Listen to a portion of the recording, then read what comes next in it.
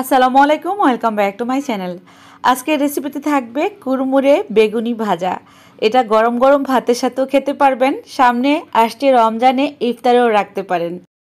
চলুন তাহলে আর কথা নয়, ঝটপট দেখি নেই কুরমুরে বেগুনি ভাজা।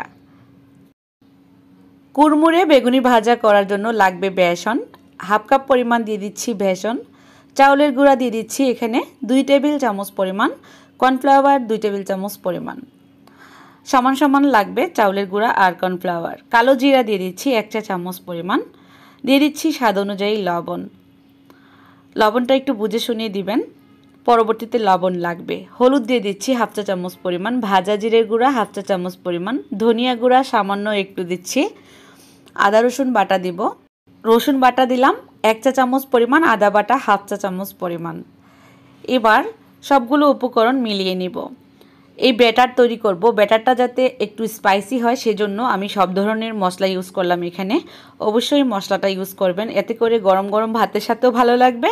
এটা যে কোনো সময় খেতে পারবেন নাস্তা হিসেবে। এবার দিয়ে দিচ্ছি নর্মাল ঠান্ডা পানি। এক কাপ পরিমাণ নিলাম। যতটুকু পরিমাণ লাগে। আর ব্যাটারটা কীভাবে তৈরি করতে হবে সেটা আপনারা দেখে দেখে বুঝে নিতে হবে। অল্প অল্প করে পানি দিয়ে অবশ্যই ব্যাটার তৈরি করতে হবে। এই তো আমি অল্প অল্প করে পানি দিয়ে দিচ্ছি, এক কাপ পরিমাণ পানি দিয়ে দিলাম। বেটারটা অত পাতলাও হবে না, অত ঘনও হবে না।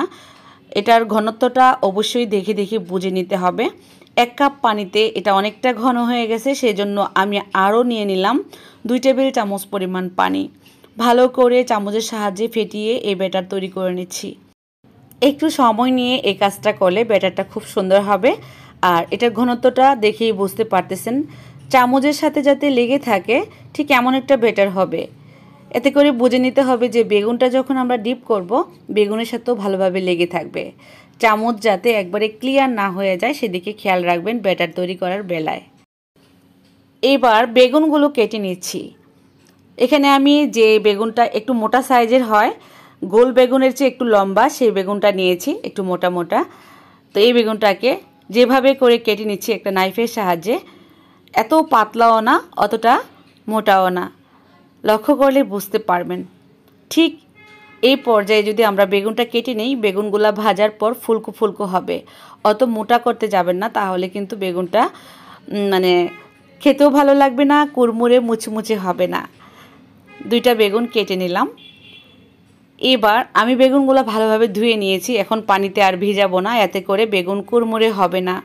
লক্ষ্য করলে বুঝতে পারবেন, আমি কিন্তু পানিতে আর ভিজাইনি। এবার লবণ দিয়ে দিচ্ছি বেগুনের জন্য স্বাদ অনুযায়ী। লবণটাকে ভালোভাবে সবগুলো বেগুনের মাঝে আমি মিলিয়ে দেব। এতে করে লবণ দেওয়ার কারণে বেগুন থেকে যে পর্যাপ্ত পরিমাণে পানি আছে বেগুন সবজিতে, সেটাও বের হয়ে আসবে। এর জন্য আমরা পানিতে এটাকে আর ধুইব না, ধুইলে বেশি পানি পানি হয়ে যাবে, বেগুনটা একেবারে সফট হয়ে যাবে, তখন আর কুড়মুড়ে হবে না। এ তো অনেক পানি বের হয়ে আসছে, দেখতেই পাচ্ছেন।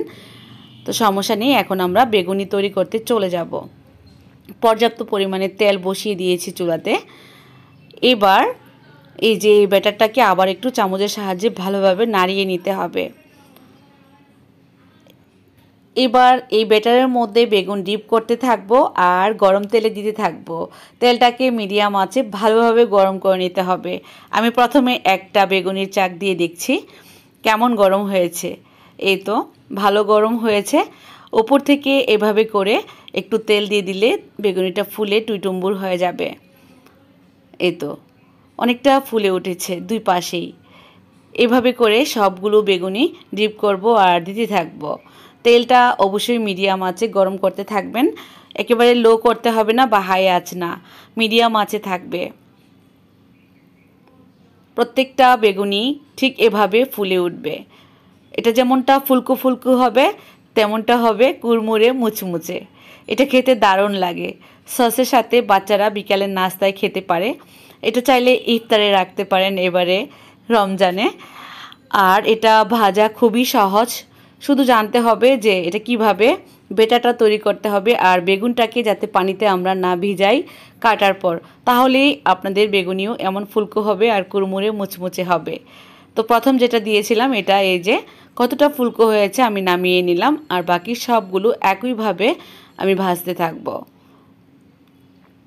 কালারটা সুন্দর একটা কালার চলে আসলে সবগুলোই নামিয়ে নিচ্ছি। বেগুনটা যখন একটু কড়া ভাজা দিবেন, দেখবেন অনেক সুন্দর একটা কালার চলে আসে। এই তো। যতটা কালারফুল হবে, ততটাই মানে মুচমুচে হবে। এটা একটু কড়া ভাজা দিলেই ভালো। তাহলে এটা টেস্ট চিপসের মতো লাগবে। আপনারা ট্রাই করবেন। অবশ্যই আপনাদের এটা কেমন হলো জানাবেন। এটার মধ্যে কোনো রকম বেকিং পাউডার বেকিং সোডা আমি ব্যবহার করিনি। এমনিতেই কিন্তু ফুলকো হবে। শুধু বেগুনের স্লাইসটা অনেকটা পাতলা। এর জন্য আর এটার বেটারটা যেভাবে তৈরি করেছি, অবশ্যই সেভাবে তৈরি করবেন। অনেকগুলো টিপস দিয়ে আপনাদেরকে আজকে আমি এত মজার রেসিপিটা শেয়ার করলাম। আশা করব আপনাদের কাছে ভালো লেগেছে। ভালো লাগলে অবশ্যই কমেন্ট করে জানাবেন। আর যারা আমার চ্যানেলে নতুন এখনও আমার চ্যানেলটা সাবস্ক্রাইব করেন নাই, প্লিজ সাবস্ক্রাইব করে রাখবেন। নিত্য নতুন রেসিপিগুলো পাওয়ার জন্য সাবস্ক্রাইব করার পর পাশে থাকা বেল আইকনটাতে ক্লিক করে দিবেন। এই তো একটা চিপসি বেগুনি আমি আপনাদের সাথে ভেঙে শেয়ার করলাম। উপরের যে লেয়ারটা, এটা কিন্তু খুবই ক্রিস্পি আছে আর একেবারেই এটা আলাদা হয়ে গেছে, টুপির মতো। সবগুলো বেগুনি একই রকম হয়েছে আর এটা সসের সাথেই ভালো লাগে বিকালের নাস্তায়। এই তো, লক্ষ্য করলে বুঝতে পারবেন। একেবারে মনে হয় যে এটা একটা পুরি মানে পুরীর মতো আর কি। অনেক ভালো লাগে খেতে এটা।